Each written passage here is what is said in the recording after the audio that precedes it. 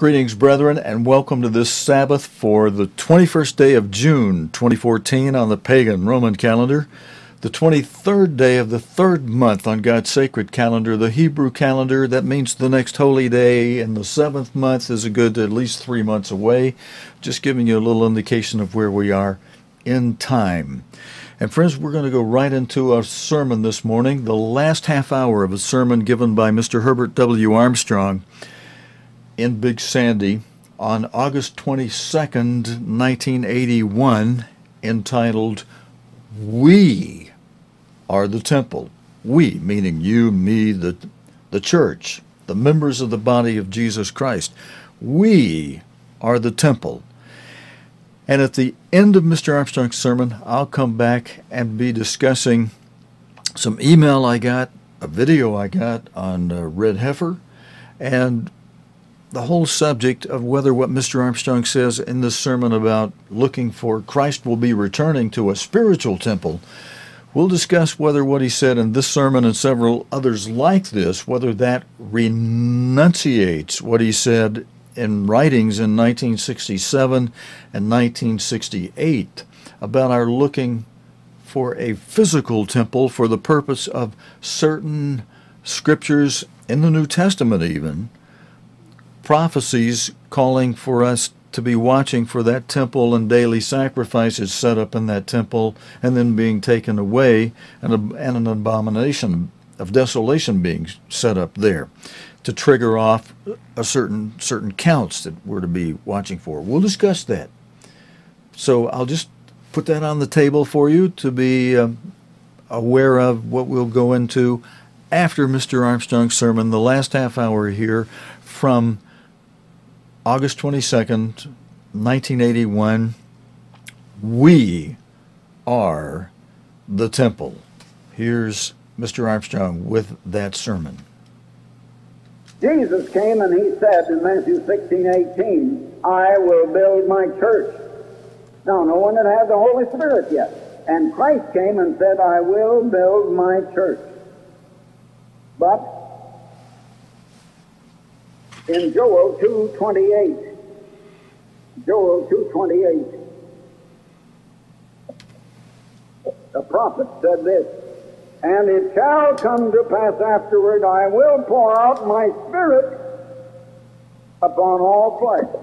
Oh, God shut up the Holy Spirit, as I read to you, in the time of Adam, and drove Adam out of the Garden of Eden, but now He's going to pour out His Spirit upon all flesh. Who will? All who will accept it. Well, but Jesus decided that the time had not come, and God Almighty decided the time has not come for all flesh, just part of all flesh now. So Jesus said, I am come that they might have life and have it more abundantly. Now I mean life, not temporary existence. But he also said, John 6.44. John 6.44. I want to read that. I want to read that. John 6.44. I want you to know I'm reading this out of the Bible. Jesus said, No man can come to me. Uh oh. No man. Is this the day of salvation? No man can come to me except the Father which sent me draw him. Now, God draws a lot, they're called, but only a few are chosen. And you know, to one of the churches, the church up at Ephesus, you read in the first chapter of Ephesus how the Apostle Paul said, God has chosen you. You were called, they had accepted, and they were chosen. But he said, Jesus had said, No one can come to me even now except the few God has predestinated and called. Brethren, if you have been called, you are one of the few who've been called and chosen. Around you are hundreds of others, around every one of you, who have not been called. Now, are you better than they? Is God playing favorites? Not a bit. You have to fight Satan the devil. You have to live in a world that is going Satan's way. It's Satan's world. You have to, well, you know, any old dead fish can float down the stream. It takes a pretty live fish, like uh, salmon, for example, to swim up against the stiff current. We've got to swim up against the swift current. We've got to go against the world. We've got to be persecuted by the world. We have to come out of the world and be separate. You know, when God opens up the Holy Spirit to all flesh, and He will beginning in Christ's coming to all flesh and living, there won't be any devil around any longer. And the whole world will be as full of the knowledge of the Lord as the ocean beds are covered with water. You don't live in that kind of world. You and I have got it a lot harder. But we, if we overcome, he says, Genesis 2, verses uh, 26 and 27, and Gen- uh, I mean, Revelation 2, 26 and 21. Revelation 2, verses 26 and 27. And Revelation 3, verse 21. If you overcome, you will be able to sit with Christ in his throne. If we overcome, we will be given power to rule the nations and help convert and save the nation in the millennium. Now, others coming later don't have that promise. I don't know whether God decided to give it to them later, but He hasn't yet. That promise only applies to those in the church now. Does not apply to others that will be uh, called later. Now, Finally, in the millennium, and then in the right great white throne judgment, God will pour out His Spirit upon all flesh. But now He's just calling a few in the church. We are the first fruits. That's what the day of Pentecost means. Now God gave us the feast day. The first is the Passover, the slain Christ. That's the beginning toward spiritual salvation. To the second Adam, toward eternal life, which Adam turned down. He didn't take the tree of life. The second festival of the days of unleavened bread, we have to quit sinning and come out of sin. The third festival is in the summer, the feast of Pentecost, meaning the feast of first fruits, and we are just the first of salvation. Just a few are offered the Holy Spirit and the tree of life now. The, the world around you, your next door neighbors probably are not offered the tree of life. You have been. What a wonderful thing. Don't let it slip. Don't let it slip. But Joel said the time will come when he will pour out his Spirit upon all flesh. Now, on the day of Pentecost, that Spirit was poured out upon the beginning, the first fruits of those God was calling that were predestinated. And in Acts, the second chapter, and verses 15 to 17, you will find that Peter said that on that day of Pentecost, that this was what Joel had prophesied, that the beginning of pouring out the Spirit of God upon all flesh. And no longer was the Spirit of God completely shut up from everybody. But listen, brethren, the churches that call Christian think that salvation has always been offered to everybody. It has not. Sin was not offered to people. Well, then what? They will be resurrected in the great white throne, judgment, and then it will be offered to them. But it was not offered to them in this life. It is offered to you and me now. Does that mean something to you? What a wonderful opportunity. But we have to fight off Satan and Satan's people this world. A very great thing. All right, that's the church. Now, the church had the, the, the, the, the commandments of God. The church got its teaching from the original apostle. And the original apostles got their teaching direct from Christ, the second Adam. And the church started off with glory and all of that, but it didn't, all that glory didn't last too long. You notice in the book of Galatians, in the first chapter, verse 6, Paul wrote, now this was in about 53 AD, the 1 AD. It's about 22 years later, 21 or 22 years later, the church was just of age. And Paul says, I marvel that you were so soon removed from him that called you into the grace of Christ unto another gospel, which is not another, but there be some that trouble you and would pervert the gospel of Christ. They began right then to suppress the gospel of Christ. The gospel is the message Christ brought is the good news of the kingdom of God, that you can be born into the kingdom of God. But we have to, the kingdom of God is the government of God and the family of God, ruling the government of God. And every government is based on a constitution or a basic law. And the basic law or constitution of God's government is the law of love, the Ten Commandments.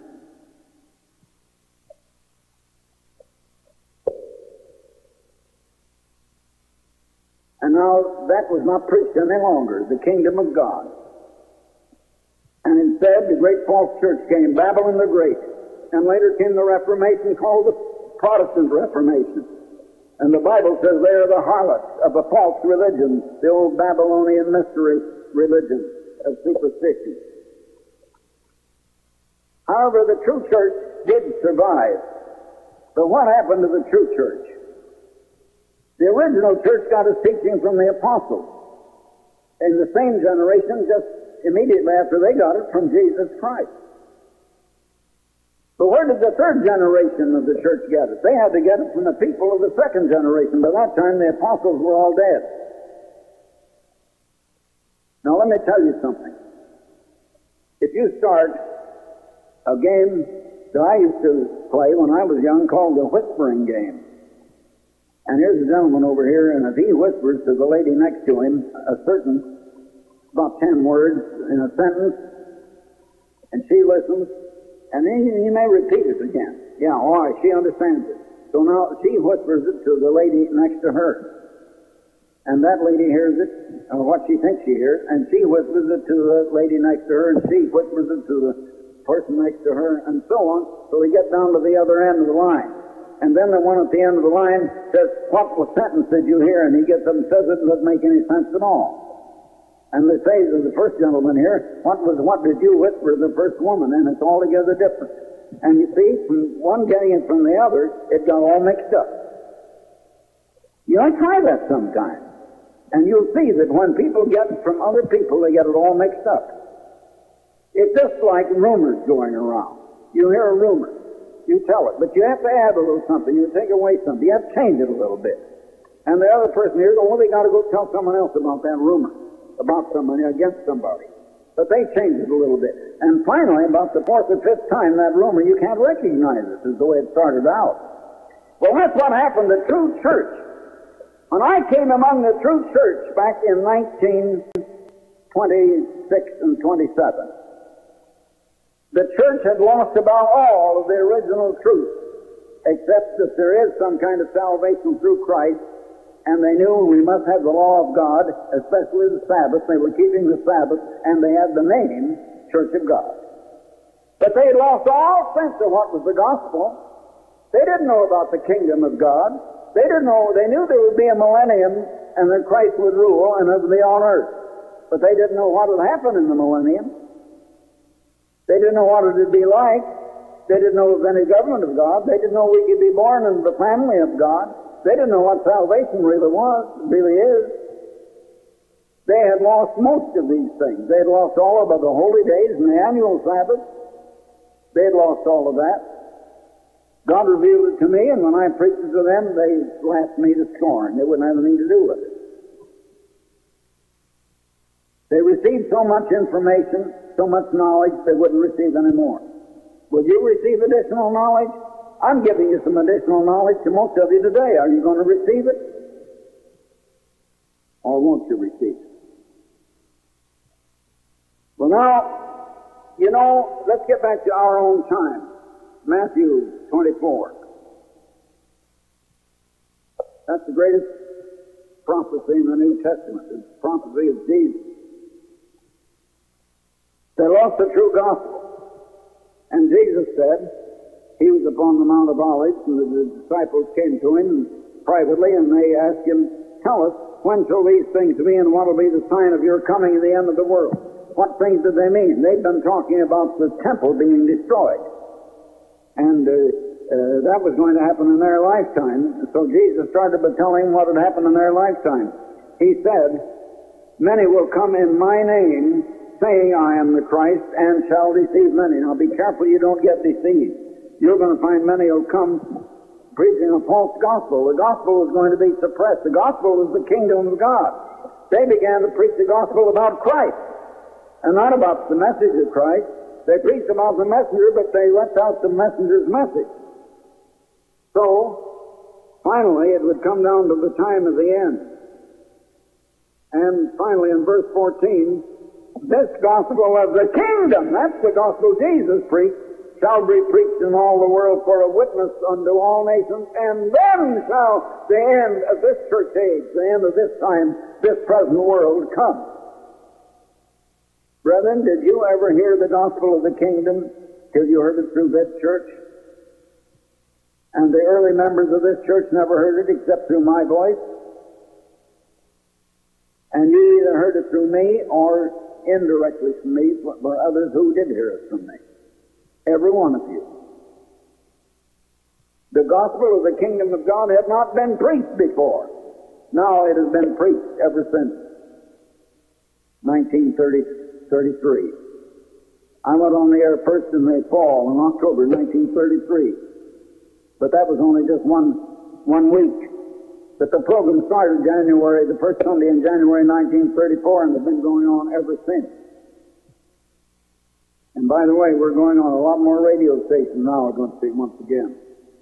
Anyway, we're getting down to the very time of the end now. I want you to notice something. In Ephesians 2 and verse 20, when talking of the church, it says the church is built upon the foundation of the apostles and the prophets. Now that means the prophets of the Old Testament and the prophets and the apostles of the New. Jesus Christ himself being the chief cornerstone, in whom all the building. Now the church is compared to a building. Not a lot of different buildings. One building. It's the body of Christ. Christ is the head of it. How many bodies does Christ have? You know that the prophet Daniel, I'm going to write an article on this pretty soon, you'll read it a little later.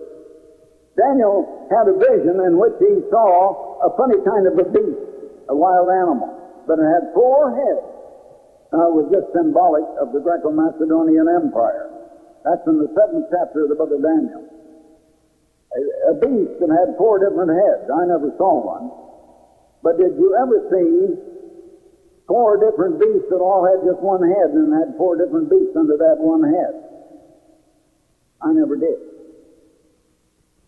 There are not a lot of churches, and Christ is, has only the one body. And the body is compared to the human body in the 12th chapter of 1 Corinthians. I tell you, you cut off even a part of a little finger or a part of a little toe. This church, that person is no longer part of the body.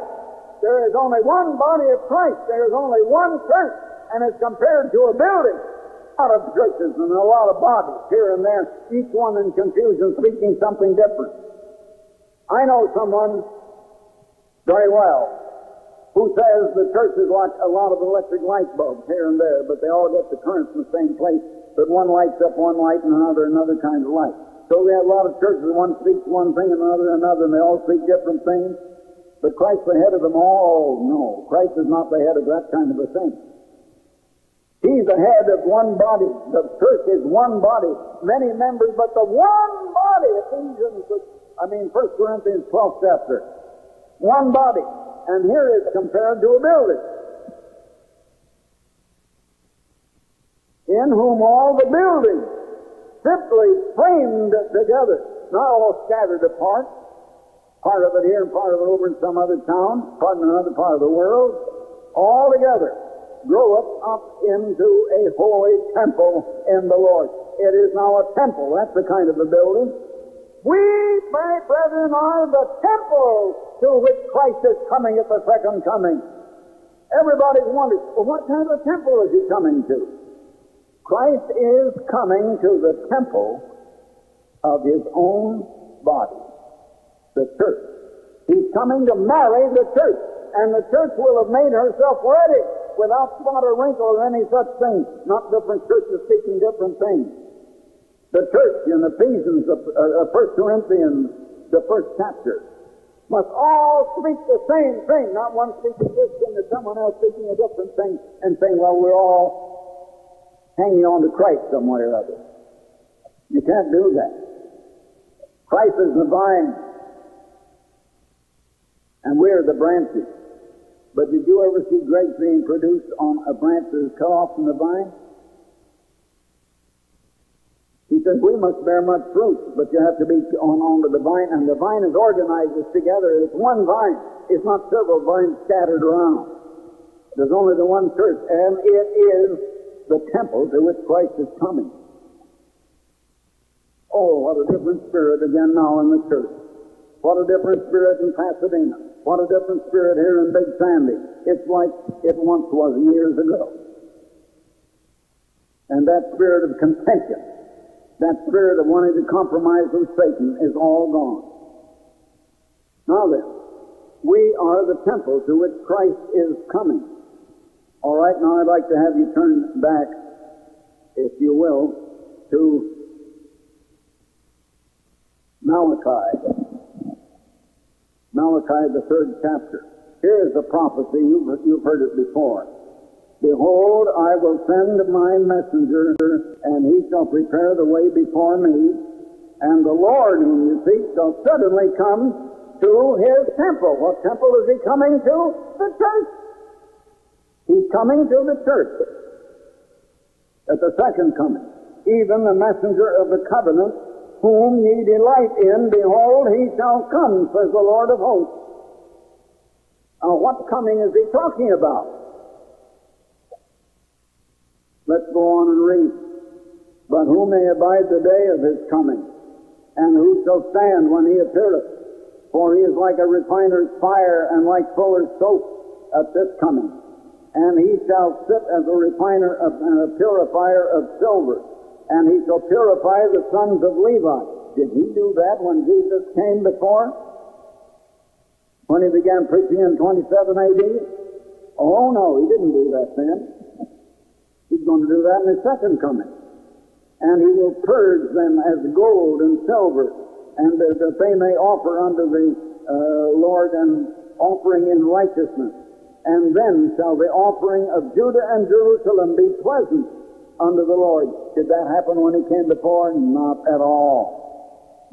Jerusalem was in the charge of the Romans, and the Romans were using the Jewish Pharisees and the Sadducees in their government, and they were fighting Christ.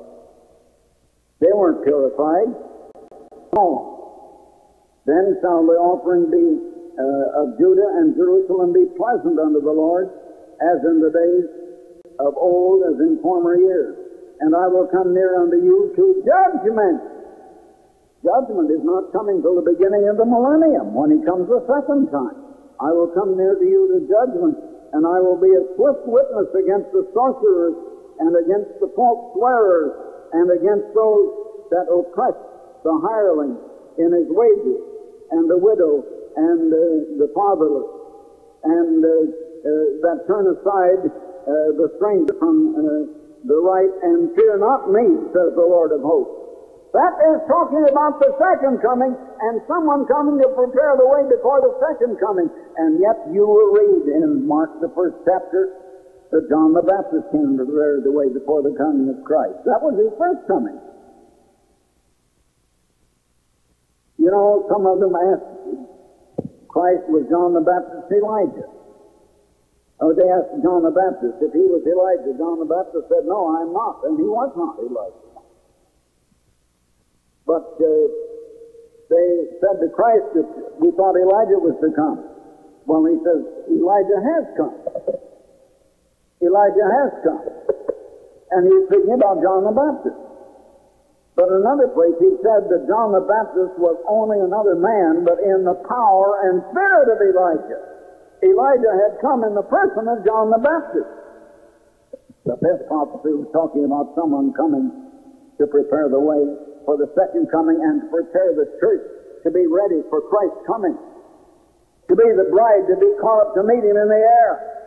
And you people are that bride. What is your Bible talking about, brethren? It's about time we open our understanding and that we get to understand who and what we are. He's talking about someone coming to prepare the way for the second coming of Christ. But John the Baptist was a voice crying out in the physical wilderness of the Jordan River. This is talking about someone coming, a voice crying out in the midst of the spiritual wilderness of Babylon, confusion, and calling people out of Babylon. John the Baptist came to prepare the way for a physical Jesus. Someone else is going to come preparing the way for a spiritual Christ in power and great glory to come to rule. John the Baptist prepared the way for a physical Jesus to come to a physical people, his own people, Judah, who received him not. This time, someone is preparing the way for Christ to come as a great spiritual King of kings and Lord of lords in power and glory to meet his spiritual temple, the church, that'll be caught up in the air, taken, translated from mortal to immortal, becoming very God as his bride to the marriage. He's coming to his spiritual temple. The first time he came to a physical temple built of stone and wood and material. The second time he's coming to a spiritual temple composed of spirit because this church is going to be changed from matter. You won't be in a physical body. You won't have a heart pumping blood. You will become spirit. You are that temple, brethren. Do you know who you are? Now I'd like to turn to another prophecy. That's here in Haggai. Chapter 2, Haggai, a prophet. He says, Speak now to Zerubbabel. Now, Zerubbabel, this was a governor of a colony sent down to Jerusalem 70 years after Judah had been captured. The temple of Solomon had been destroyed in Jerusalem. And 70 years later, to fulfill a prophecy by Jeremiah, a colony of Jews was sent back down there. And they were all Jews, not any of the lost tribes of the house of Israel were in that colony. Zerubbabel was the governor, and he was sent there to build the temple. The second temple to which Christ was going to come the first time. He was the one, John the Baptist was the one who prepared the way for Christ's first coming. Here it was Zerubbabel, the one to prepare the temple to which Christ was coming the first time. Now, I want you to get the similarity, the duality of this whole thing. And Christ was saying, verse 3, Who is left among you that saw this house, that was Solomon's temple, in her first glory? Probably the most splendid, purest building ever built in the history of the world. And how do you see it now? Is it not in your eyes as uh, in comparison uh, of it as nothing. Yet now be strong, O Zerubbabel, saith the Lord, and Joshua, the high priest, saith the Lord, and work, for I am with you, saith the Lord of hosts, and build this temple. Now that temple was a type of the temple to which Christ is coming the second time. According as the word that I have covenanted with you when you came out of Egypt, Spirit remaineth among you, fear ye not. For thus says the Eternal of hosts, yet once it is a little while, and I will. Now he's going into a prophecy way into the future. Now notice this, a prophecy that hasn't even happened yet in our time. And I will shake the heavens, and the earth, and the sea, and the dry land, and I will shake all nations. He's just starting to do that now. Do you know that I have been visiting the heads of nations all over this world, and many of those heads of nations that I visited in the last ten years are now dead and overthrown and gone, and nations and the thrones of nations have been overthrown at the rate of about one a month part of the time. Many every year, all over this world, I will shake all nations, and the desire of all nations shall come, and I will fill this house with glory says the Lord of hosts. They were building a second temple. The silver and gold is mine, is mine, and the gold is mine, says the Eternal of hosts. The glory of this latter house shall be greater than of the former, greater glory than of Solomon's temple. Oh, oh. the temple that the Zerubbabel built was not anywhere near as glorious as Solomon's temple. It is speaking by type of the temple that is to be built at Christ's coming. It'll be more glorious than Solomon's temple. Brethren, you were that temple. You are not yet glorified. You're just sitting here in flesh and blood. Some of you part sickly with certain diseases. Oh, you'll be all healed. You'll be raised up in the sky in the clouds to meet Christ that is coming. You'll be changed from matter into spirit. You will be glorified. Much more glorious than Solomon's temple to which he's referring here. And in this place will I give peace, saith the Lord of hosts. That's in Jerusalem, where they were. Now, there's never been peace in Jerusalem from that time on, but there will be. Who is preparing the way for the second temple? Through whom? God works through human beings. Through whom is He building the second temple? Where is the voice crying out? Prepare the way. The gospel was a no. The gospel was sabotaged. It was not preached. For 100 time cycles of 1900 years. Through whom did God begin preaching that gospel? The gospel of the kingdom of God in Europe, to all the United States, to the kings of the world all over this earth. Who? It came out of this church, brethren.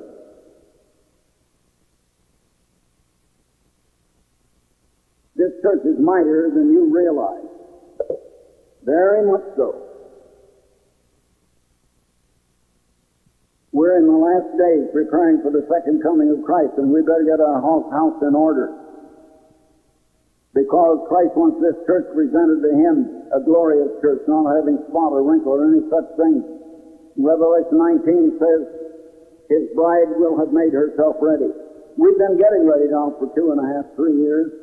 Are we re- yet ready? I think not quite. But we're a lot nearer ready than we were three years ago. We've got to pray harder. We've got to read our Bibles more. We've got to have our minds on the thing of God and get our minds off of the things of this world and its entertainment. We've got to get back to God. We've got to get prepared and be ready for the second coming of Christ. Because we're not quite ready yet. He that has an ear, let him hear what Jesus Christ spoke to you today through his servant and his apostle. Thank you, brethren. I hope that you get the message. Okay, friends, Mr. Armstrong with an outstanding message from August 22nd, 1981, entitled, We Are the Temple. Now, I wanted to play that sermon today because, let me see if I can get this switched over here. And I have to resize this. Bear with me just a moment. Friends, let me hit a couple buttons that'll open up some slides so I can put some scriptures up on the screen for you. Let's see. This maybe this will do it right here. Yes. All right. Now move this out of the way. Um, okay. Now that that was the sermon of the uh, the title of the sermon that that you just heard, and uh, it's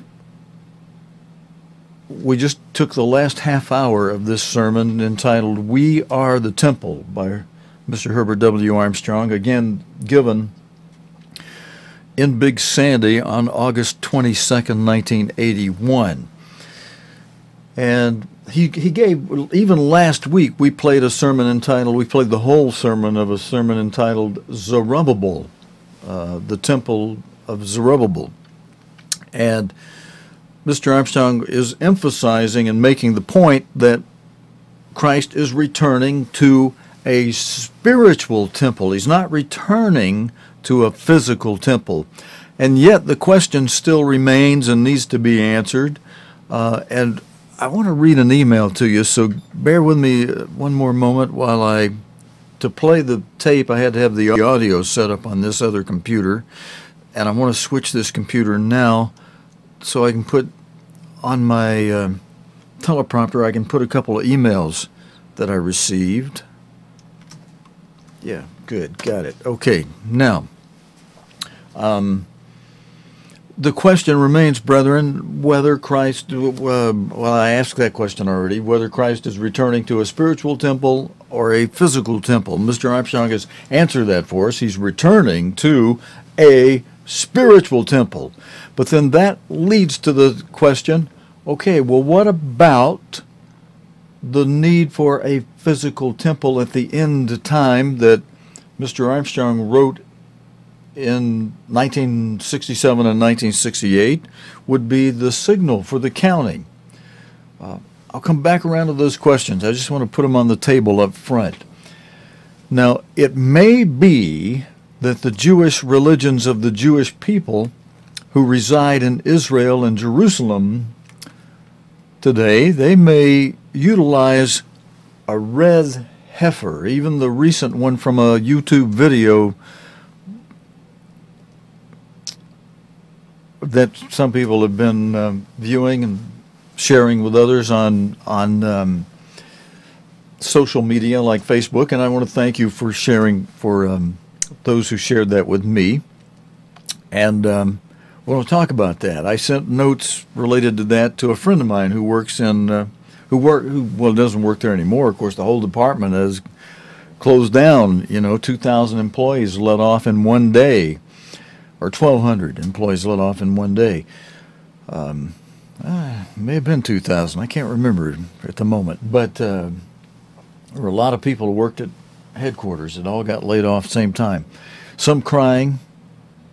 Well, most of them crying. I only know one that was happy. He was a man that worked for Mr. Uh, Helge, who had been going to law school at night. So when he was let go, he opened up a law office and well, he was he was kind of happy because he had been working in the law office under Mr. Helge, and and uh, anyway, that YouTube video uh, shows a red heifer that uh, some people are raising and that they want to offer to Israel just before the setting up of a new temple, a third temple in Jerusalem.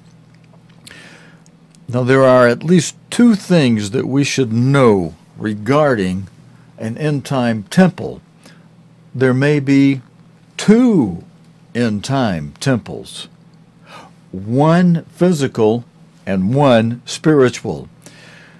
Usually, the spiritual is always greater, always more important and more significant than the physical. And even the verse that contains the physical annual and weekly Sabbaths of today and what they mean as being but a shadow of what is actually coming as recorded in Colossians 2:16. Let me put some find out where my slides are. Now, to put my slides up, I've got them I may have to punch around and I hope we don't lose this media player that's kind of sensitive sometimes when I load a lot of video or slides into it. Um, if I have to click around in them very much. But let's see what happens. Oops, it's already hung up. Oh, no, I know why. Because I had that slide toward the end. Now I want to go to Colossians 2. Just bear with me, friends. I'm just going to click through these. Colossians 2 16 and 17. Um, and that verse of Scripture that parallels the point that the physical is not as glorious as the spiritual. Let's read it together. Let no man therefore judge you in meat or in drink or in the respect how you observe a holy day or the new moon, which we will be observing again after Christ returns, once we're in a civil government that uses the Hebrew calendar, which, you know, we need that for, for observing that new moon. And um, you know, right now we're in this temporary in-between time where we're on a pagan Roman government, or of the Sabbath days. And thankfully, the weekly Sabbath has not been changed. They've tried to change the number of days in the weekly Sabbath a few times. Some talk about that, but that hasn't been changed. We still keep the weekly Sabbath. Of course, that's a command that we keep that. So we'd have to figure out how to do it, even if man's government or what have you did change the weekly the uh, cycle. Uh, and the annual Sabbaths, as Mr. Armstrong learned while he was studying that and trying to refute his wife. But verse 17 says, let's see, you're going to let me switch to verse 17? Okay, which all these which are a shadow, these physical things that we do in this life today, all these things that are biblical and all, but even the even these biblical things that are physical are just a shadow of things to come. And the last part of that verse it says, "But the body is of Christ," but but it actually should say, you know, who who can judge us on these things? The body of Christ can judge us on these things but not don't let any man do it. But all these, even the physical biblical things, they're just a shadow of things to come. That's the point I wanted to pull out of that scripture. Um, nonetheless, please hear me when I say that just because the spiritual is of greater all time importance and meaning, it does not mean that the lesser, the physical, is without any relevance at all because it was a new point that Mr. Armstrong began to make beginning with his sermons on it in and around 1981 Mr. Armstrong began saying that Christ is returning to his end time spiritual temple which is us brethren you and me we are the church as I've said many times the church is not a, uh, a building. The church is not an organization.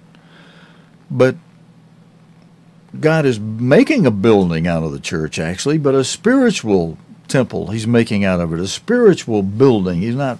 The church is not a physical building. Um, that's being fitly. We are being fitly framed as a spiritual temple, as and as a bride for Christ to which he'll return. He'll return to a spiritual temple that he'll take as his bride that the Father will give away to Christ at a marriage ceremony in heaven. And the bride includes all of the spring harvest from Abraham and Isaac and Jacob and King David and all the elect as the spiritual temple to which Christ will return. But there's a need for that lesser physical temple.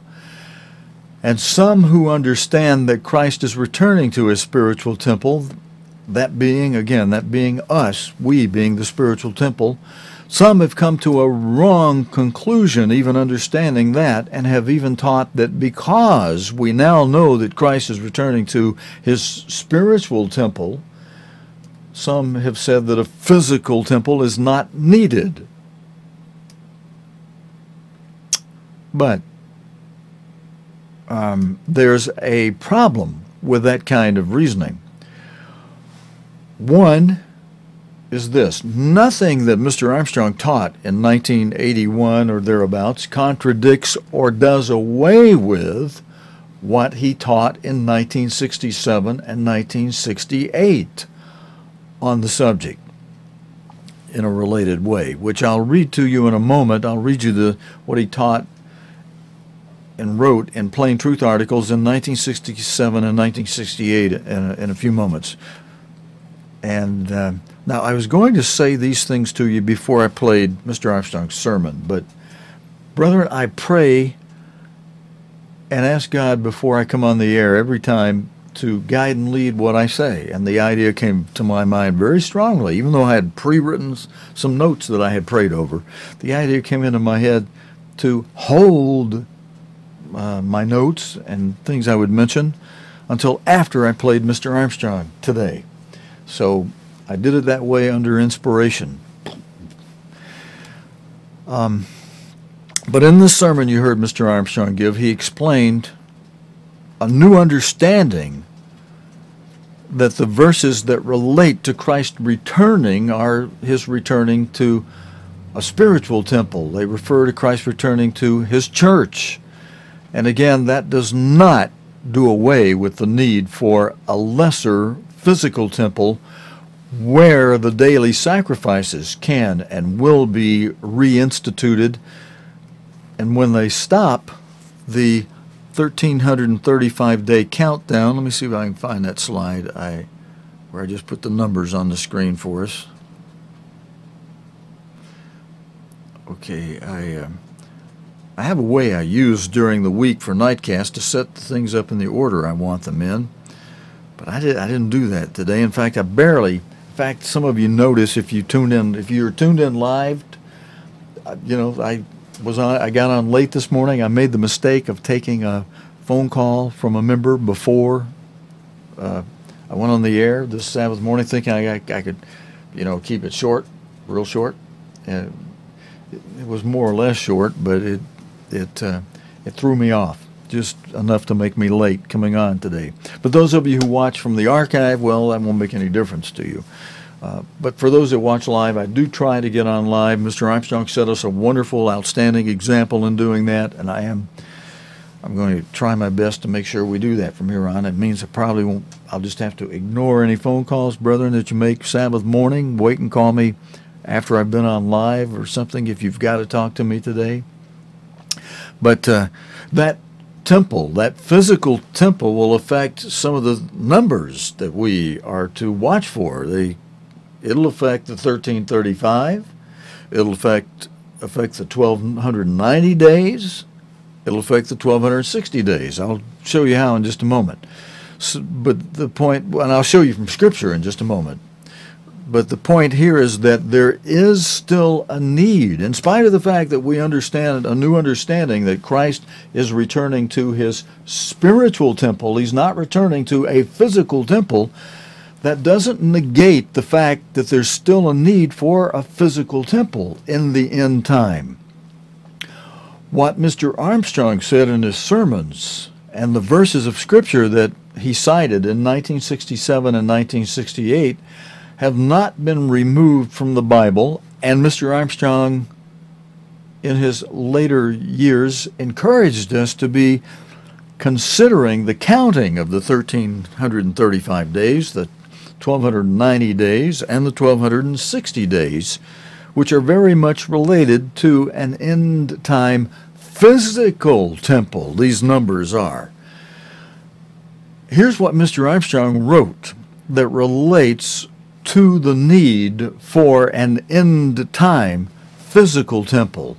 When he said in a Plain Truth article, let me see if I can find that heading for you on that, friends. If I don't hang this media player up, and if I don't bore you to tears by flipping through all my scriptures till I get to, oh, went the wrong way, went to should have gone this way bear with me just a moment. We're going to get that title up on the screen. Just so if you want to make a note of it and look this up yourself, you'll be able to do that. It's from the June 1967 Plain Truth article entitled Jews Take Jerusalem that I'm referring to here. And in that in that article by that title, Mr. Armstrong said, "What is the real significance of the Jews taking Jerusalem? And I'm quoting from a paragraph from this article. He said, The Israelis won a flash war, a blitzkrieg, Israeli style, exclamation point. The news reporters, going on with Mr. Armstrong's quote, the news reporters do not know what it means that the Jews took Jerusalem. But you can know, Mr. Armstrong says in this 1967 Plain Truth article. You can know, for there is one of the for this is one of the major fulfillments of biblical prophecy. There will be, and I'm still reading Mr. Armstrong's writing from 1967. There will be a Jewish temple built in Jerusalem with animal sacrifices once again being offered. End quote. Friends, Christ will not return to this physical temple, but this physical temple, this physical end time temple, a third temple, will serve a purpose, especially for brethren to be able to know when to flee. Those who are accounted worthy for that. Okay, now this brings up another question that uh, I wrote to my friend who worked in uh, uh, letter answering a letter answering department, and also he did translation. He worked on, under one of the evangelists for uh, many years, a couple decades in Pasadena. I wrote to him uh, last night and this morning, and I, I mentioned to him, uh, well, there's another question for those who are counted worthy, and who will need to know not just when to go, but also where to go. And I haven't heard back from him on that yet. But I, as I said to him, you know, God will, those who are counted worthy to go, He, brethren, will let us know when we're watching when to go. He'll let us know. He'll let us know where to go. That won't be a question for those who are counted worthy. Now, there's another article I mentioned to you. Mr. Article, Mr. Armstrong also wrote regarding this in 1968 Plain Truth article and that was, uh, as I mentioned, the March 1968 Plain Truth, in which he said, Watch Jerusalem, watch Israel. And I'll quote from further from this article in March 1968. Mr. Armstrong said, quote, The recent Israeli victory gave complete control of the city of Jerusalem including the original site of Solomon's temple, to the Jews. Now, I'm going to comment on that because I saw that quote uh, and others like it when I before I went to Israel in the mid to late 70s, and again I went to Israel in the uh, early 80s. And on one of those trips, I don't remember which one exactly, but I very vividly do remember going up to the Temple Mount and having having read this uh, by Mr. Armstrong, saying that hey, the city of Jerusalem is now under the complete control of the of the Jews. Well, that's true with certain limitations upon it because. Um, the Jews kindly acquiesced, and maybe it was after these two writings, but the Jews acquiesced to the Arabs for the area where the Arabs have that uh, Dome of the Rock building with the big old gold, the beautiful gold on the top of it. Uh, that's on that's on that Temple Mount, or what is supposed to be a Temple Mount.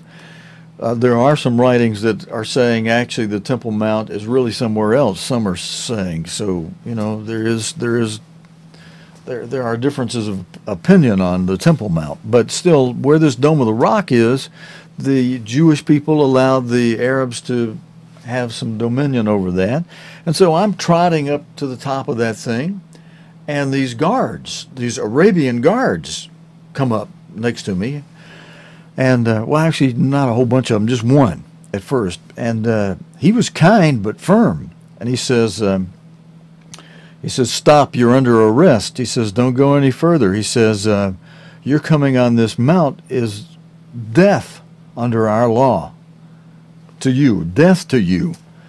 And so I, I had already stopped when he ordered me to stop, you know, and I uh, and when he said you're under arrest, I'm just thinking, you know, he said, and this is death under our law. And I'm looking around like, hey, where are the Israeli uh, guards or police? You know, I'm thinking, uh, and I'm praying, you know, um, God, what's he going to do if I'm under arrest? Were his words. If I'm under arrest, is he going to put some cuffs on me and haul me away real quick? And they're going to, how are they going to kill me? And I'm praying, hey, uh, dear God, let me just exit stage left. Let me just turn around and go back the way I came. And he said words to that effect. He said, um, you know, we could kill you for coming on this this because it's death under our law. And um, so uh, I, I forget the exact words, but I was able to I was able to exit. He allowed me to exit, so I just turned around and left. I didn't make any argument over that. and so, but but that uh, that puzzled me because I had seen these writings about how the Jews were now in charge of the whole Jerusalem, and of course that Temple Mount is a significant part of Jerusalem. But uh, anyway, that was an experience I personally had regarding that. But uh, going on, another quote from this 1968 March Plain Truth by Mr. Armstrong.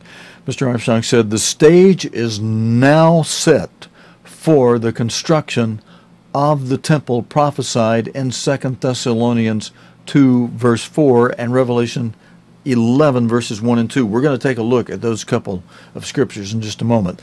The prophecy that Mr. Armstrong mentioned in 2 Thessalonians 2, 4, well, let me go ahead and get it up there as I tell you this. Uh, 2 Thessalonians 2, verse 4.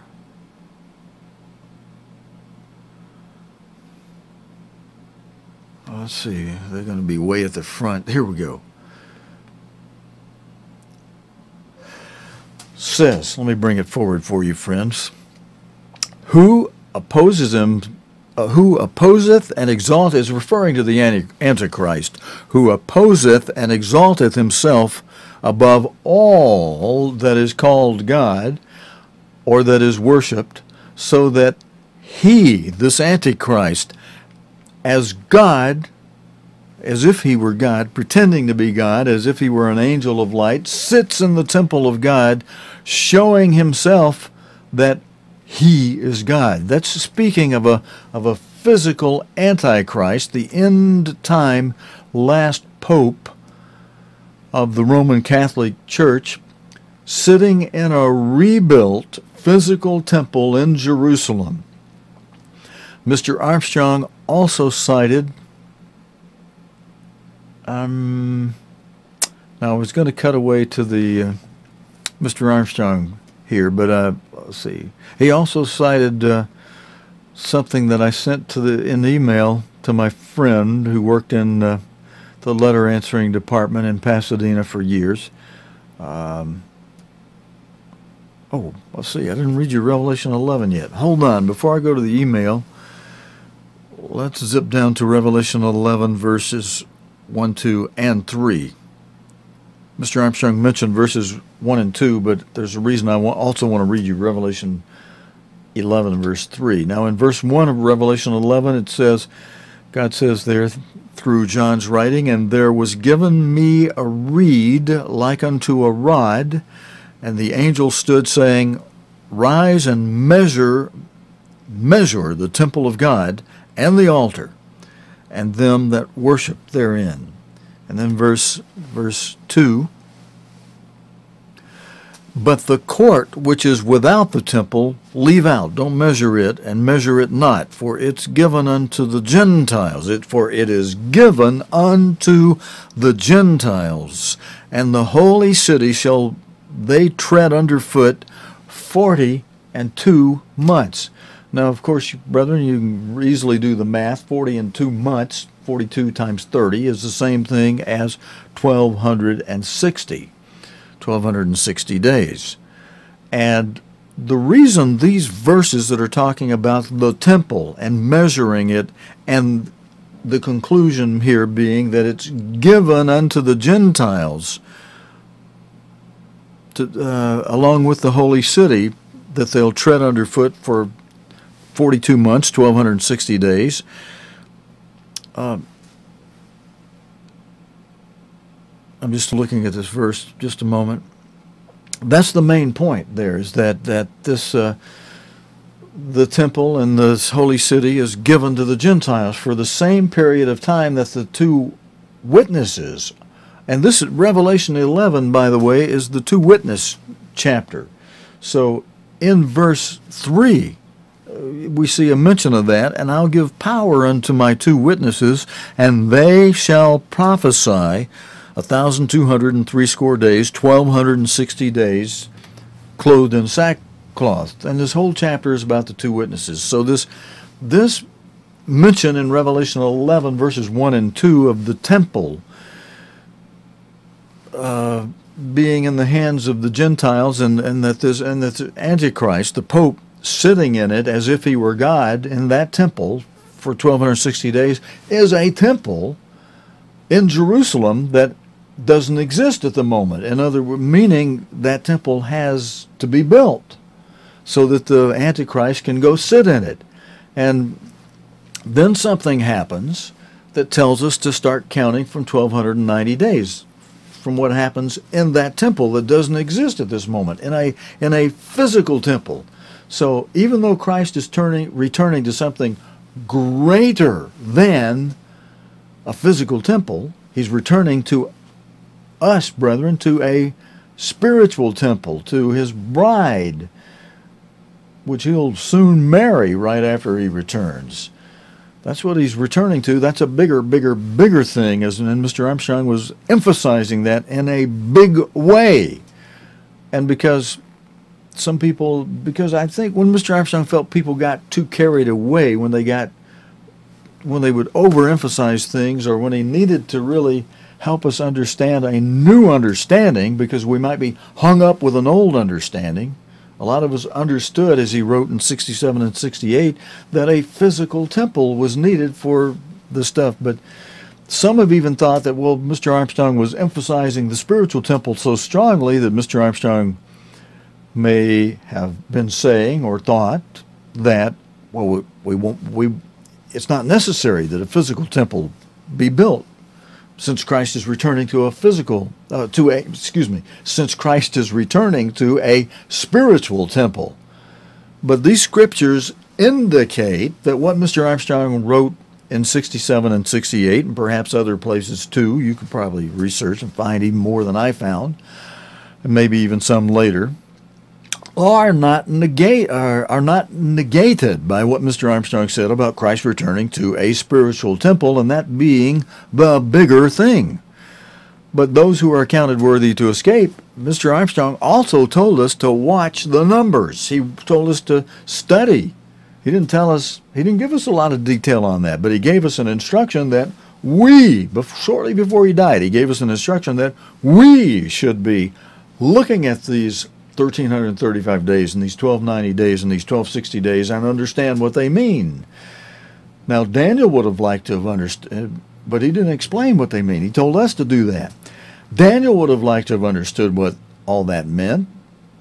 And Daniel is one of the places where it makes the reference to counting the 1290 from the time that something happens in that temple that we're supposed to be watching for to happen. And Daniel wanted to know what that meant, and God said, "Sorry, Daniel, it's shut up until the it's sealed until the time of the end, and just go your way." You know, of course, Daniel would be dead at the time of the of the end and waiting for a resurrection, so he wouldn't find out until after the fact, until after it all happened. But the rest of us who are alive, we're not only supposed to know, we're supposed to use that as the timing for when to go when to go to a place of protection and final training, nourishment, safety, and uh, I'll come back to that in a moment. Let's talk about that red heifer for just a moment. My friend who worked for a long time in uh, letter answering and answering and translating to brethren letters they would write wrote me back when I wrote him about the red heifer and said, I'm going to just read you now. I'm reading my friend's writing back to me. And we, he had, we had two writings. He wrote this, I responded to him, and he wrote me again. And I just want you to hear what he's saying because he took a strong position and then he softened on it a little bit to say, hey, Steve, because I sent him my notes from which I was talking to you. I this already in this morning and my notes of other things I'm going to say. I sent those to my friend, and he after, there's a point in this email where he'll say, "Hey, what you what you said in your notes are fine." He doesn't disagree with it, but he holds this opinion: "Quote: That red heifer thing seems to periodically resurface on the internet." From and I'm reading my friend's email. He says, "From what I remember, there were at least." Uh, there was at least one rancher somewhere in the U.S. who, who, and he's talking years ago, not the recent red heifer, but some many years ago, who a rancher in the United States somewhere who took it upon himself to try to breed the reddest looking heifers he could. And in parenthesis, my friend puts the rancher that, no, that was my note. I put a note inside his email for me when I'm reading this to you. The rancher that my friend is referring to is not the one from the most current video on this, but one from some number of years ago. Back to my friend's email back to me. Quote, my friend says, and if I recall correctly, one of the photos of these red heifers looked like it had been touched up by Photoshop or some other program to make it look even redder. Now, that must have been funny. I would have liked to have seen that just for the fun of it. My friend, though, says and uh, in his email further, he says, even if the red heifer, even if the red heifer breeding project, the current one he's referring to, is legitimate, could be just a rancher's whim, he puts in parenthesis, it doesn't, even though, but even if it's legitimate, it doesn't seem to have much real prophetic significance, my friend says. And he goes further to say it sounds like another Jewish tradition, parenthesis, like separating milk and meat foods, and has only a very faint connection to the Old Testament scriptures. So, personally, my friend writes, I think that even if there were even if there really is an American rancher getting ready to export several red heifers to the nation of Israel, actually, I should tell my friend it's only one red heifer as far as I know that was recently born, and it hasn't been photoshopped. The video, it looks like a normal red heifer. I don't, my friend says, I don't think it would amount to a hill of beans as far as prophetic significance is concerned. Now, that's what my friend uh, thinks. Although the Jews may, friends, this is me speaking now, although the Jews may do something like that before building an end time physical temple for animal sacrifices. They might take a red heifer from the United States, uh, even this one that's in the video, and do the purification thing they do um, in ded- before dedicating this temple. And uh, you know, the temple um, would be for animal sacrifices and would contain an altar inside of it where the abomination of desolation can occur, for which we are to be watching out, you know, looking for that. There may be a lot of ceremony around the rebuilding of a temple in Jerusalem by the Jews and it may be a glamorous enough building that when the Pope takes over Jerusalem, that Pope will want to sit in that building to give the appearance of himself as God, as the scripture at 2 Thessalonians 2 4 indicates. He'll, he'll be want to do, where the verse there again says about the man of the Antichrist, the Pope, who opposeth and exalteth himself above all that is called God. You know, he's called the vicar of Christ, or that is worshipped, so that he, as God, sits in the temple of God, showing himself that he is God, or showing himself as if he were God. You know, he's in the office, friends, of a God, all right, but that is of the God of this world and not of the great God of heaven. But the great God allows Satan's representative to do this for a time as the false prophet who rides the beast, who ride, rideth the beast. Now, following that email from my friend that I just read to you, who again worked directly, who worked in letter answering, who worked directly under an evangelist for many years in Pasadena in letter answering and had other duties translating English articles into other languages, I sent him uh, my notes about what I'm saying to you today to bounce some of my thoughts off my friend. And he wrote back in a second email reply to me as follows. Quote from my friend. The, the note i the more he said the more i think about the red heifer thing the more it seems to, to border on being a hoax. My friend writing nevertheless he said i think your comments are fine and brethren you know my comments are that as mr armstrong said in 1967 and 1968 there are reasons why an end time physical temple of some kind or shape in Jerusalem is necessary.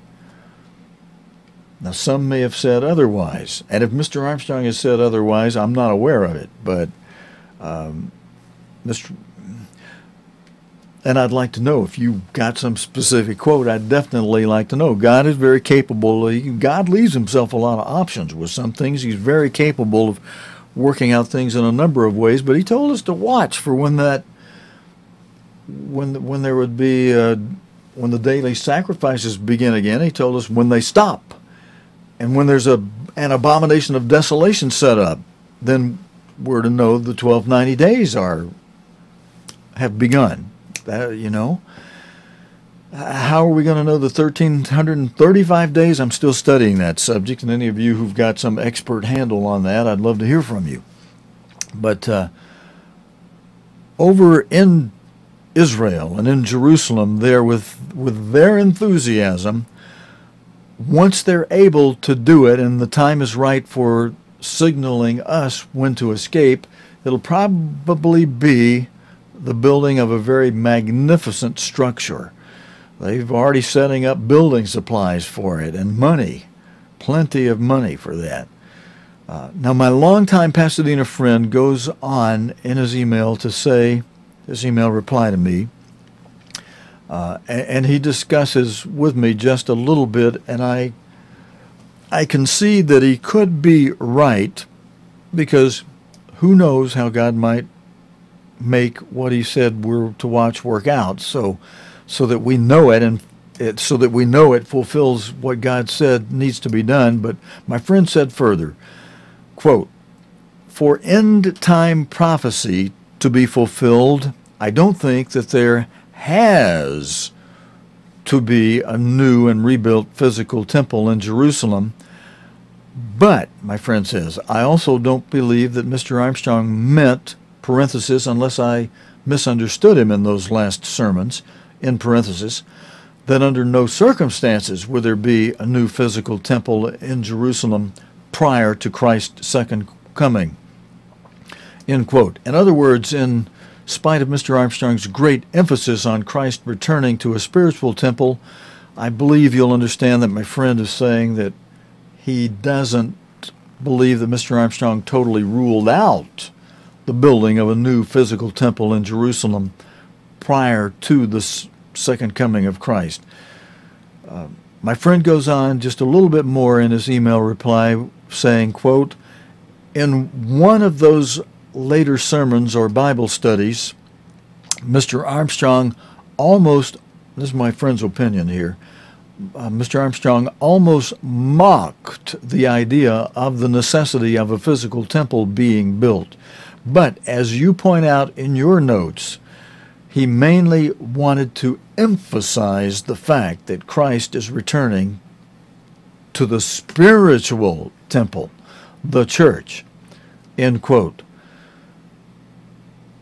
Just as, friends, and now back to my own comments, just as there is duality in many prophecies, I believe there is some duality in this thing in that I believe, brethren, that, and again, this is me speaking now, not my friend from his email, I believe that there will need to be both a physical temple to signal the spiritual temple when to flee. Now, that brings up another question. I mentioned it earlier that I've been meditating on and praying about since World News, and I hope you're watching Nightcast every night, Sunday through Thursday night because, wow, world news is showing that the fifth seal could literally strike overnight at almost any given moment with only days necessary for some things to just wham together, which could happen out of sight of the news in such a way that by the time you hear of it, it's already happened. It's upon us. The other question that I've been meditating on and praying about is is is God supposed um, I've, I've got this written in my notes in kind of a funny way. Um, I think I left out a few words. Well, but the thing I've been meditating on is this: is you know, God, if God lets us know when to flee, as He says He'll do by by by when the daily sacrifices are cut off and when the abomination of desolation is set up, you know, I have to put it this way, in the temple, then we'll know the when to flee. We'll know that at that future moment when that happens, we'll know that, hey, now is the time to flee at some definite time in the future. But the question for the moment is, okay, God, we uh, let's project ahead. Let's say we see this thing happen that says it's time to flee. We say, okay, God, now it's time to flee, but how are we going to know just where to go? Well, brethren, I'm sure that those of us who are accounted worthy to escape will know the voice to follow at that time, whether that be a resurrected voice or some uh, revealed voice of one of the two witnesses that God will be setting up at some future time. Not yet. Some have claimed they've been it or are it or whatever, but that, that hasn't happened yet. Um, but uh, when God does do that, the voice that uh, of God may be a resurrected or revealed two end time witnesses, one of them that we'll hear. But however God does it, God will let those who need to know, who are accounted worthy to escape, He'll let us know where to go. You can be sure of that. Now, you may want to be sure that your house is ready God told us decades ago through Mr. Armstrong to prepare to reduce our standard of living. Some of you out there are spending a lot of time daydreaming on your new vacation like ideal dwelling place, whether in a tree house or next to the ocean or wherever, but we all might um, better be cleaning the clutter out of the places where we live now and so that when we go, people who are left behind won't be too aghast at how some of us had allowed clutter to build up around us. And I'm, I'm speaking to myself as I speak to some of you on that. Yea, yea, where the shoe fits, get busy and polish up those shoes, clean out the clutter, and be ready to flee when the word to go comes.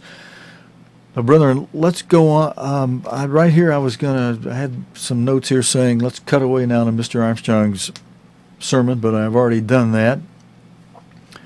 Um, and we heard Mr. Armstrong give the little whispering game that teaches us, you know, we need to be careful when we repeat things that we tell it straight. When you quote the Bible, always be sure to go to the verse. Now, um, I've got some other scriptures I want to go over with you. Um, but that little whispering game gave a um, a good moral or a good lesson to it that maybe some of us could learn something from today, some of us adults, even because uh, there are many around today who want to change or modify the things that God taught us through his end time servant, Mr. Armstrong. And he began where we began in his sermon at the point where Christ was saying, I will build my church. And brethren, God trained ministers under Mr. Armstrong who who Mr. Armstrong did say that the ministers he had trained would cover details that go beyond what he believed he should do in staying with the root and trunk of the tree, the foundation and the rudiments of solid truth that God revealed to and through Mr. Armstrong to give to the rest of us, and in so doing, show us through whom God was raising up and working uh, in these last days. Mr. Armstrong said numerous times that he wanted the rest of the ministry to build upon and enlighten us from the foundation upwards through a superstructure. And God had corrected things, did he not, by the time Mr. Armstrong died, so that any detail that is added by a trained minister or lay, deacon, or, deacon or layman even to anything God gave us through Mr. Armstrong should not conflict or contradict any of those things which God taught us through Mr. Armstrong. There's, There's no rhyme or reason as to why any detail would be such that it would change anything God gave us through Mr. Armstrong. Because God did not allow Mr. Armstrong to die before he, God, had doctrine set in good order for us. Any detail provided today should complement or supplement what God taught us through Mr. Armstrong, but in no way, shape, or form contradict what Mr. Armstrong, what God gave us through Mr. Armstrong in any way. God is the master engineer of what He's having us to grow in and learn and know. As Scripture says, friends, He's the author and finisher of our faith, is He not? As God said through Paul in Hebrews 12, verse 2. I think I have that among the verses of Scripture I have for you that I can throw up on, on screen before we sign off from today and say so long and see, what did I say? Hebrews 12, verse 2. I think I, I think I got that one for us. Nope, I didn't. I'll just have to. Uh, just in mentioning that one, Mr. Armstrong gave us many reasons to understand why it was Paul who wrote Hebrews to the Jews, even though Paul doesn't put his name at the top of it. And part of the reason is because Paul was writing to Jews who hated him, and he wrote in the Hebrew language, not Greek. And the style may have changed a little bit when Luke translated Paul's Hebrew language writing into the Greek language from which we get it in our English translations of the Bible from the Greek manuscripts. But back to what God opened up and revealed to us through Mr. Armstrong, and that verse in Hebrews 12, let's see. Since I don't have a I basically said to you what it says, but let me just read it from the scriptures about Christ being the author and finisher of our faith. Hebrews is just before the book of James. If you want to flip there with me, since I don't have a slide for it. James just before First Peter. Hebrews 12, and I think I said verse 2. Looking unto Jesus, the author and finisher of our faith, who for the joy that was set before him endured the stauros, the stake, the crucifixion post or pole, despising the shame, and is set down at the right hand of the throne of God. Jesus Christ, the author and finisher of our faith. So, friends, God is guiding and leading us, and He left doctrine set in good order through Mr. Armstrong. Nothing anybody says, anything that we hear today that we haven't heard before, should build on the foundation that God gave us through Mr. Armstrong, a rather large and solid foundation that God has built for us and in us by and through Mr. Armstrong, whom he made a father of sorts for us in the faith. Revelation 3 3, instructing us in the Philadelphia era to re- remember how we received and heard.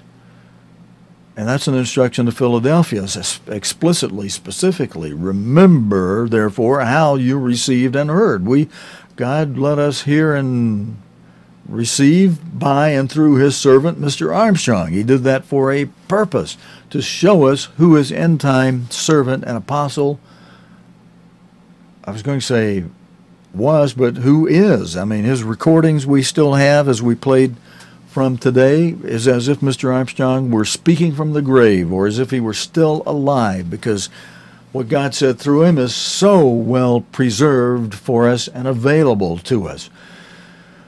Friends, as, as God opened our minds, he brought Mr. Armstrong before us in writings, publications, and broadcast, or in live person, and through trained ministers ministers trained under him. That's why here each week on the Sabbath, I try to have Mr. Armstrong speak from the many recordings we have of him more than I speak, but I do speak some and and before I do, I always ask God, as I mentioned to you earlier, to guide and lead my mouth and be the source of what I say, As David prayed, When I open my mouth, Lord, you speak through it, you fill it. And you should always be hearing what these lips speak, complement, that's complement with an E, and supplement what God has taught us by and through Mr. Armstrong, who encouraged the ministry he trained to add the details that he strongly felt that that uh, if he were to try and do, it would take away from his job as the overall leader of keeping us well grounded as the trunk of the correct tree. And many of you well know he often taught us there are two trees. And I'm thankful he did, brethren. The one tree, the, the tree of the knowledge of good and evil, both good and evil on it, as Mr. Armstrong emphasized. But some unwary souls don't see the evil that does exist in and on that tree, the tree of the knowledge of good and evil. And the other tree, the tree of life, to which the elect, the first fruit of God's spring harvest, have been called. But that tree, brethren, that tree of life, has branches and leaves and even twigs on it, and the ministry trained at Ambassador College learned or should have learned the details that God gave us and gave us well, as God says in 1 Corinthians 12, verse 28. I do have these slides for you, friends, that supports what I'm saying, but I'd like to back up and begin with verse 25 of 1 Corinthians, where God says, through Paul's writing to the Corinthians, that, verse 25, there should be no schism in the body, but that the members should have the same care one for another. You know, brethren, when we see uh, weekly bulletins or, or in any way we find out about brethren who need prayer for this healing or that healing, we should all want to pray for that person and want them to be well like that person wants to be well, unless they're fraudulently seeking disability from the United States government and faking an illness or preferring to be ill so they can get money and not have to work. But that's a that's a different story, and uh, there are some who are genuinely handicapped and who God withholds healing for a reason, and you know, we, we, we don't want to we don't want to judge somebody wrongly, and we are to encourage and help those who are weak in the faith, even. But uh, brethren, in verse after verse 25, going on, verse 26, 1 Corinthians 12, and whether one member suffer, all the members suffer with it.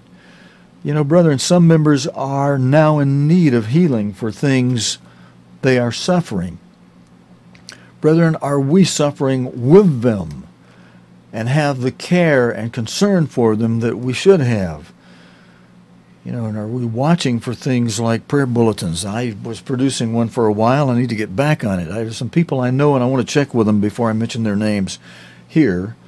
But if I can encourage you to go to the prayer bulletin, if I get an okay from them, I'll try to uh, put that bulletin together with their pictures and a brief mention of what their needs are, and then you can contact them or maybe have enough information from the bulletin to send up their name before God in prayer. And you know, James 5 that instructs us to call for the minister for anointing, that's just part one of what God requires us to do when we want healing.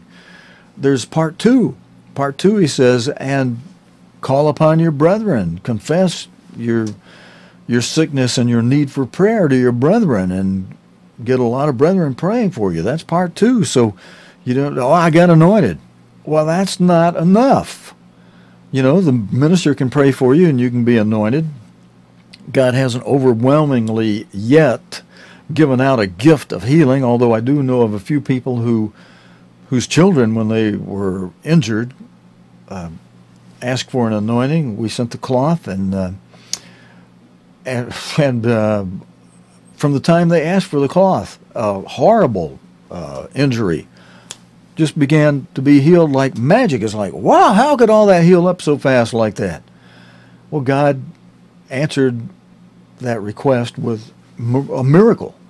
Uh, but there is normally, in the case of a child, maybe God's going to often react quickly, more quickly, or in the case of beginning to give out a gift of healing, maybe God's going to start to do things more quickly. But normally, generally, James 5 is applying where you need to call on your fellow brethren. And because I can't think of the exact wording at the moment, friends, I didn't do a scripture ahead of time on this one. Let me turn to James right after the book of Hebrews, James 5 around verses 14, 15, and just review with you quickly. Verse 16, part 2 of after calling for an anointing, God instructs us confess your faults, verse 16. Confess your faults one to another. You know, your sicknesses, your illness, you could say for your faults here. Confess your sickness one to another. You know, sickness and sin, Christ said, whether I say your sins are forgiven or take up your bed and walk, same difference, same thing. And it's not always Sometimes your sickness could be because somebody else sinned. But, you know, if it's forgiven, it's forgiven. Confess your faults, your sickness, one to another, and pray one for another that you may be healed. That's part two. And he goes on to say in that same verse 16 the effectual, fervent prayer of a righteous man avails much. So you want to be sure those you request prayer from are someone God would Um, escheat, consider, deem as a righteous man, because that'll avail much with God. And then just a couple verses beyond that, God gives the example of Elias, Elijah, being a man subject to like passions as we are, and when they had a drought, he prayed earnestly. Well, first of all, he prayed earnestly that it might not rain, and it rained not on the earth by a space of three and a half years. And then verse 18, and he prayed again after three and a half years of drought. Now he wants some water, and he and the heaven gave rain, and the earth brought forth her fruit. And when you look at the details of, of that, um, back in the Old Testament, um, you'll see that uh, it didn't just rain after Elijah prayed the first time he prayed a number of times, and after each time he prayed, he'd go look at the clouds and at the sky, and when he'd see no clouds, he went back and prayed earnestly again. And brethren, we should do that for one another. We should check with our friends and say, "Hey, are you healed yet?" You know, no, I'm still. And I had somebody do that for me today. I thank you very much for that. You know, hey, you're still having a problem with your jaw, and I thought, well, I, I don't recognizably have a problem with my jaw. Let me touch it and see. And I, oh, hey, there's a little pain there, but it's not like it was. There's definitely been some healing and improvement going on there, but there's enough there that tells me I may need to go ask a dentist what's going on, and I do need some some restoration work where I'm missing a tooth. You know, what do they call that? You know, that just gives you a better appearance. So when you smile, you don't have this big hole up there in your mouth where a tooth is missing. And uh, you know, we've been told that's okay to do to do. Uh, you know, rest, restore restore something like that. Although, brethren, if some of you want to know, I've been asking God. I know of somebody who had a tooth, an adult who had an, a missing tooth, regrow. It was a gal. She came to uh, one of my minister friends back in the 19 late 70s, early 80s. And he was amazed. He told me about this while we were in, I was sitting in his office talking to him one day. He said, Steve, he says, uh, I think we were talking about anointings or something. I don't know what. We were on. He said so and so person came to me and asked me to anoint them for a, a missing tooth, and he says I told them God doesn't do that.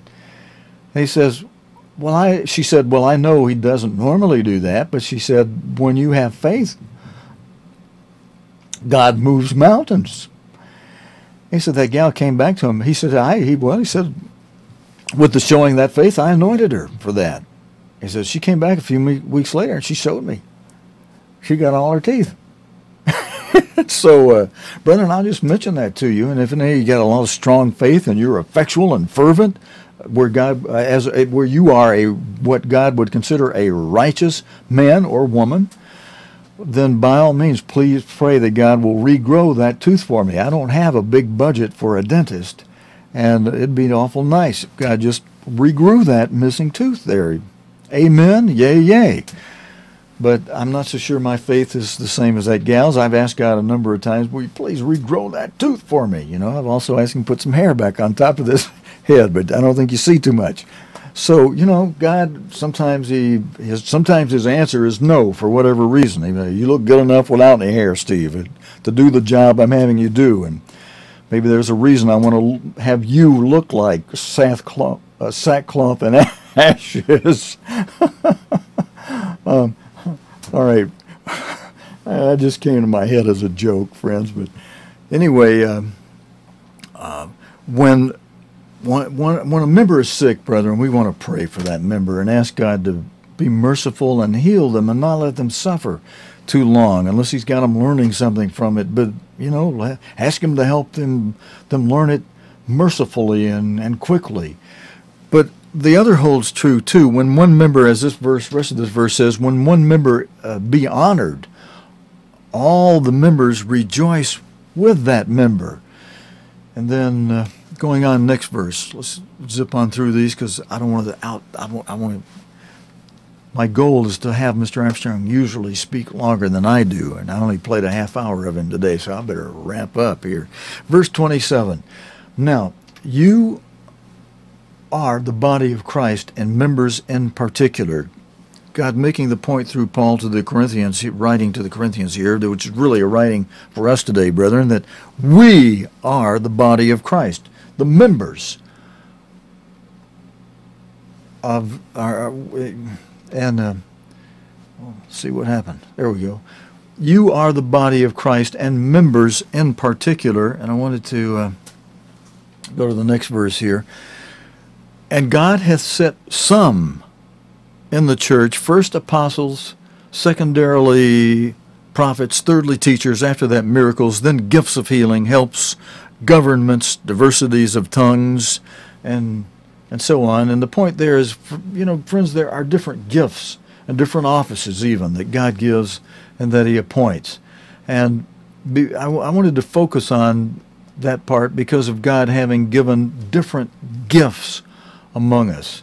And again, that verse, and God hath set some in the church, first apostles, secondarily prophets, thirdly teachers, after that miracles. Now that's that's a definite gift. Then gifts of healings. That usually that's what most miracles are, gifts of healings. Helps, governments, diversities of tongues. After and then he asked, and I think I have one more slide, are all apostles, are all prophets, are all teachers, are all workers of miracles? No, there's there's different gifts, and God's given them out to us, brethren, as as it pleases Him. And it, I don't have the slide for it, but if you kept going to verse 31, God says, "But covet earnestly the best gifts." You know, we should want these gifts, and He says, "And I show unto you a more excellent way." Now, even though I don't have the slide for it, having read verse 30 where Paul mentions speaking with tongues, let me flip forward a couple of verses in chapter 14 of 1 Corinthians, if you want to go where, there with me, that's where I'm going. 1 Corinthians chapter 14, and we're going over to verse, uh, where am I going? Uh, a verse that Mr. Armstrong would emphasize. Oh, no, it's going to be verse 10, verses 10 and 11, or explain when mentioning speaking in tongues. No, that's going to make it verses 27 and 28. Um, If any man speak an unknown tongue, let it be by two, or at the most by three, and that by course, and let one interpret. By course, brethren, means one speaking at a time, not two or three all speaking in a confusing way with a bunch of gibberish at the same time but one at a time, and at the most three, with one interpreting. And God hasn't led that to happen yet. But verse 28 But if there be an interpreter, if, but if there be no interpreter, let him keep silence in the church. Which also God says to the to the uh, females among us, the lady folk, that they should be silent in the church and ask their husbands at home, or if you don't have a husband, ask a good male friend or, or a minister who you're close to. But uh, if there be no interpreter, let him keep silence in the church and let him speak to him. Some of the women hate that. Man, I see some out there preaching and carrying on like they um, are shaped a little differently uh, than uh, than the, most females. But uh, if there's no interpreter, let him keep silence in the church and let him speak to himself and to God. Now, I love our sisters, but you know, God made femininity for a good purpose, and some of you that want to abuse that, He made masculinity to be loving to the females too. So, uh, some of you that hate the fact that you got to be feminine or should be feminine, you are bashing the equality that God gave the males to be the head and you know, and for you to look to them and for you to keep that femininity. It's a beautiful thing, even for you. And if you wound up being a female when you wanted to, would have preferred to have been a male, well, I'm sorry, that's your lot in life. You know, transvestites are not going to be entering God's kingdom. And I was putting it kind of strongly, but if you know, sometimes we want things we don't have, and we have to submit ourselves. You know, Christ would have loved to have ended the the night before the crucifixion and had it come out and play out a totally different way. He said, God, it, isn't there some way this cup could pass from me? And after a little prayer with God, he said, Nevertheless, not my will be done, yours be done. When he real and when he realized that, you know, look, ain't no other way. This is the way. This has got to play out. I got to get on that crucifixion stake and die, bleed to death, and suffer and die. But, brethren, thankfully, God has not provided any interpreters for what might become a bunch of craziness. Now, you know, if He does that in the future, there's instruction here about how it's to be done. Uh, now, there are many of us who can interpret what the apostates have done just as uh, as as just nonsensical double talk and a return to the vomit from which God pulled out many of us when He called us many of us came from backgrounds. Did I read verses 27 and 28 to you, or in verse 10? Ah, I wanted to ultimately go to verse 10. Let me get 1 Corinthians open back open again. And um, remember, brethren, I prayed and asked God that when I open my mouth for Him to fill it. If you're watching live, you can do the same thing while you're sitting there. You can ask Him to either have me cool down or, you know, or go with a certain thought or whatever.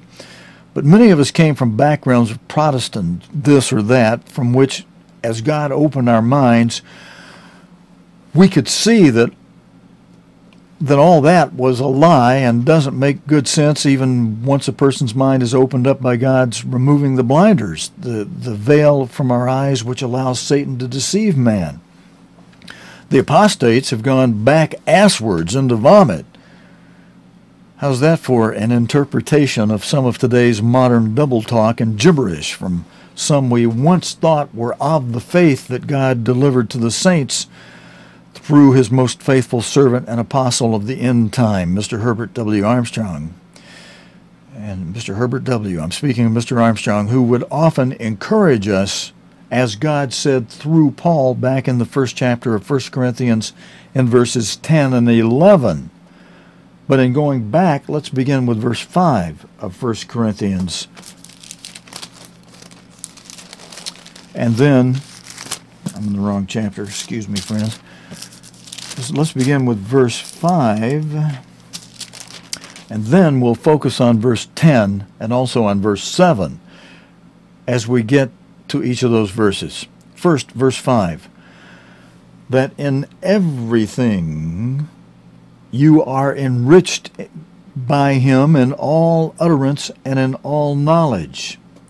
Verse 6 Even as the testimony of Christ was confirmed in you, so that, verse 7, you come behind in no gift. That you come behind in no gift. God wants us to have gifts, brethren, waiting for the coming of our Lord Jesus Christ, who, verse 8, shall also confirm you unto the end that you may be blameless in the day of our Lord Jesus Christ. Verse 9 God is faithful, by whom you were called unto the fellowship of his Son, Jesus Christ our Lord, which is now coming a lot sooner than later. Now, verse 10 that this verse 10 that Mr. Armstrong often punched as those being trained in the ministry to, to, to you know to um, at those being trained in the ministry, and we'll all we, we are all being trained, brethren, are we not, to be ministers, priests, and kings, reigning and ruling with Christ on His throne, with Him from Jerusalem and around the world as His bride. Now, verse 10 I beseech you, brethren, by the name of our Lord Jesus Christ, that you all, I was hoping I had that verse on the screen, but unfortunately I don't, but that, brethren, I beseech you by the name of our Lord Jesus Christ, in the authority of Jesus Christ, that you all speak the same thing. Let's read that part again, brethren, beginning the beginning of verse 10. Now I beseech you, brethren, by the name, by the authority of our Lord Jesus Christ, with all the authority of Jesus Christ, that you all speak the same thing. And and what? And that there be no division among you, but that you be perfectly joined together, united and living in a Philadelphia era, in a worldwide association, is all that being perfectly joined together? I just have a question I wanted to throw in there humorously, maybe. All, you know, um, a lot of separate corporations going on. But, brethren, we're to be in the same mind and in the same judgment. Just a question I inserted in, in there for fun and possible edification for that verse. Verse 11 For it hath been declared unto me of you, my brethren, by them which are of the house of Chloe, that there are contentions among you. Now, verse 12 This I say, that every one of you saith, I'm of Paul, and I'm of Apollos, and I'm of Cephas I'm of Roderick, I'm of those who vote, I'm of this or that minister, and I'm of Christ. Next verse, verse 13. Is Christ divided? Was Paul crucified for you? Repeating verse 10, and then let's let's uh, let me start to wrap up. Now I beseech you, brethren, that by the name of our Lord Jesus Christ, that you all speak the same thing, and that there be no divisions among you, but that you be perfectly joined together in the same mind and in the same judgment. Um,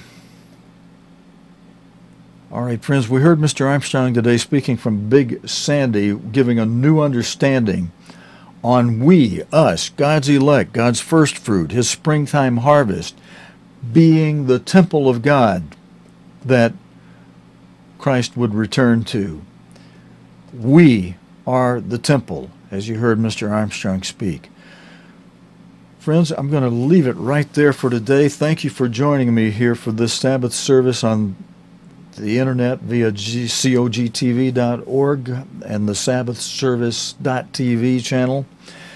And I'm going to wish you a good week. Hope you'll join us during the week for Nightcast, the day's current news from the world related to the Bible and prophecy in a half hour, usually half hour, sometimes longer. I did three 45, 47 minute programs last week because just a lot of stuff.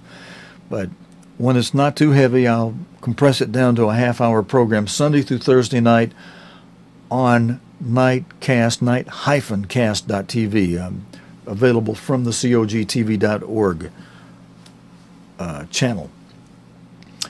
And uh, I wish you a good week. Hope you'll join us for Nightcast. And uh, those of you who'll be back with us next Sabbath, we'll plan to be here and try to be our best to be on time here for services from uh, cogtv.org. I'm looking for a screen I could uh, sign off with, and I think I have one over here. If you bear with me for a moment, I'll just put up a slide that says, uh, Join us again next week. I think that's the one that'll pop up here. Yeah. Okay, brethren, I, brethren I'll just uh, say so long with that. Happy Sabbath. Thanks for joining me here today.